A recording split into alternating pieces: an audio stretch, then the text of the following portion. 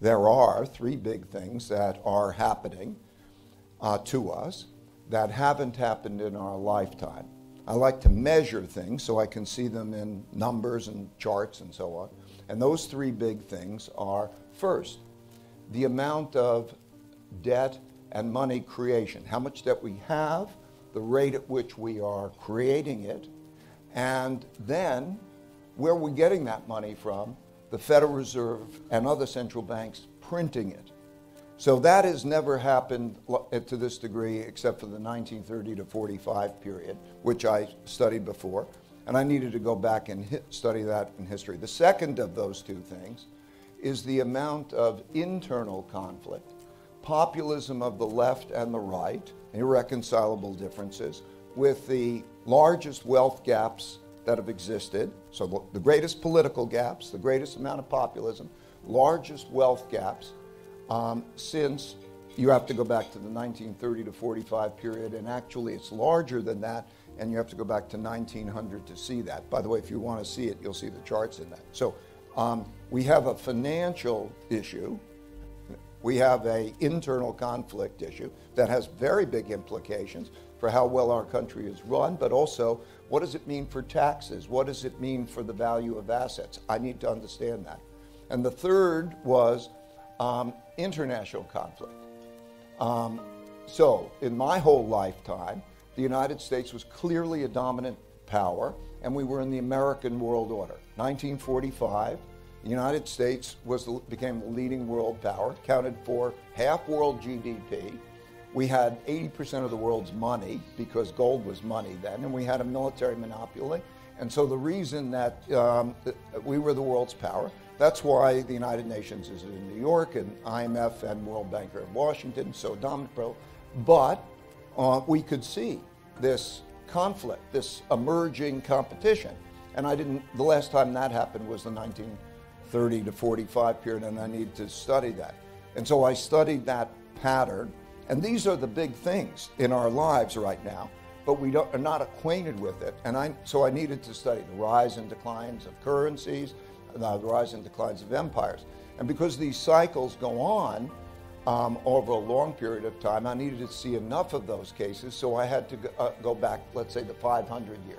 So I studied all of those. Now, I'm not an, ac- an academic, I'm a practitioner. So it's not like I'm writing history books. Uh, it's for the purpose of making decisions today.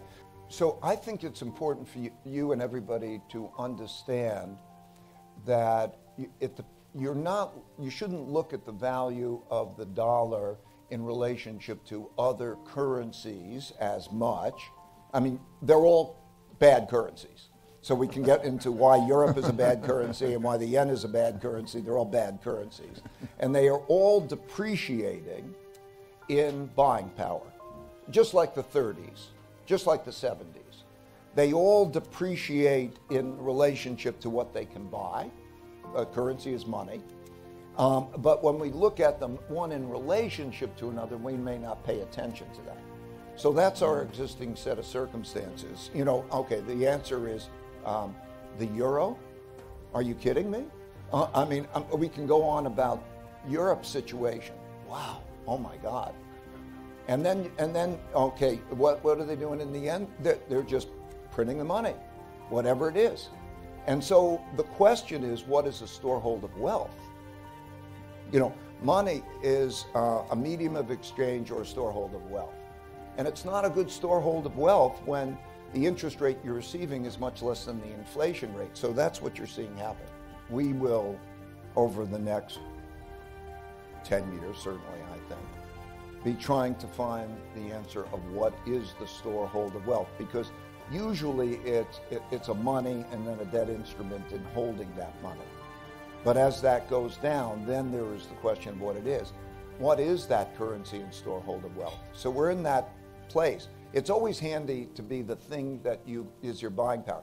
You're going to see it more in inflation hedge assets. So like if you're thinking about a bond, it's better to think about an inflation hedge bond than to think about uh, you know a, a TIPS or inflation hedge assets along those lines. And I think that you're going to see then uh, the parts of the economy.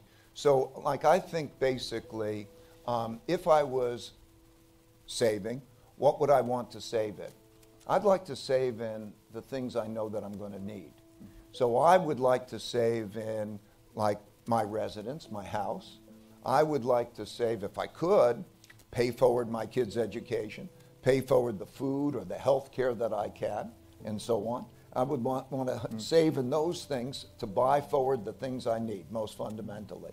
I think if we start to think that way, not only in terms of the investment, but what are, what are even the meat and potatoes type of businesses that are doing that? And then also, I think that um, you have to think geographically. Where is best in the world? Okay, that, and I'll, I'll, I'll say that um, uh, best in the world are countries in which they're earning more than they're spending and their balance sheets are, have more assets and liabilities on them, that they're civil with each other and not, they're not in conflict, and that they're not in risk of an international war. It's basically those fundamentals. And then I would say we are in an intellectual revolution, that our capacity to invent and think and use technologies to help us think has never been greater than before. And so those revolutionary type of technologies, when they're cutting edge, I think that those are good investments. And I think then what you have to do is also diversify. That because the, the thing I learned is um, um, it's all return in relation to risk. Everybody looks at how much return you make, but it only takes one time to knock you out. You know, I've, we've been doing, Bridgewater's been doing this 47 years, and we survived. You have to survive first. It only takes one time to knock you out of the game. And so you should never lose more than X amount of money that you can't recover. Because you lose 50%, it takes 100% to get back uh, again, um, when I say these things, I use measures. Um, there are 18 measures of health, and they're measures of things like what is your percentage of world GDP, what is your percentage of exports, how are your reserve currency, but also what is your education level, level of education, what is your competitiveness, 18 measures of that. And um, we are in decline. We're declining on a relative basis, but even also some measures in an absolute basis. Um, so that's what the ARC is. And then uh, China has been the leading competitor. Um, I've been having, uh, for, uh, not since 1984, I've been going to China. Watch it, since I started going there, per capita income has increased by 26 times. And so if you use measures of comparability in military technology, share of world GDP, all of that, uh, you see that. That's, that is the only real power. Um, there are military powers, but history has shown if you're um, a military power and you're not an economic power, while you may be a threat, um, you're not going to win the war. So that's what that, the picture looks like. It's all a matter of basics. Can, do you earn more than you spend? Okay, do you have a good income statement? And do you have a good balance sheet? Like it's, it's, it's, it's really simple, you know? Um, the way the system works is if you give a lot of money in credit and you make it cheap enough, they will spend it. Okay, but when you create debt, um, it's stimulative over the short run and depressing over the long run because when you have to pay it back, then you have to um, earn more than you spend to pay it back. So, what do you do with that debt? Okay, if, if you make it tough to pay it back, then what happens is you have a, a, an economic downturn. If you make it easy, you print the money. And those are, that's the cycle. So, when we look at what the Fed has done, the Fed and the government together gave an enormous amount of debt and credit and created a lurch forward, it, a giant lurch forward, and created a bubble, okay? And now they're putting on the brakes. Okay, so now we're going to create a giant lurch backward, I think, because it's simple. The amount of, we talk about inflation. Inflation is a very simple thing. It's the amount of money that's spent, money and credit spent, divided by the quantity sold is the price. And so if you take that money away, then you're then you you can't get rid of inflation. The way you get rid of inflation is to get people to spend less. And that is what an economic downturn. So the cycle goes like that. And then when you get to the point where, let's say, the economic pain is greater than the inflation pain, then you see them do the opposite.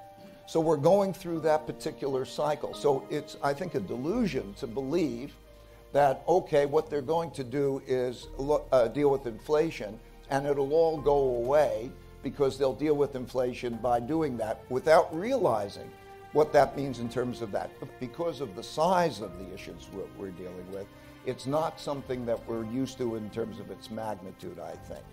So, and then if we take the internal conflict factor, I, I think we have to look at all three because they play a role. And so it, it's traditionally, those three things are the perfect storm, right? They all affect each other.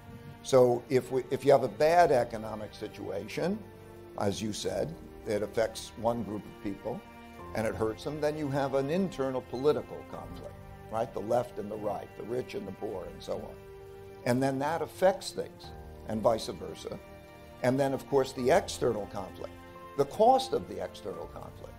Like, for example, um, it's estimated that so far um, um, the cost of to to the Ukraine war of the Ukraine war to NATO is something like eight eight trillion dollars.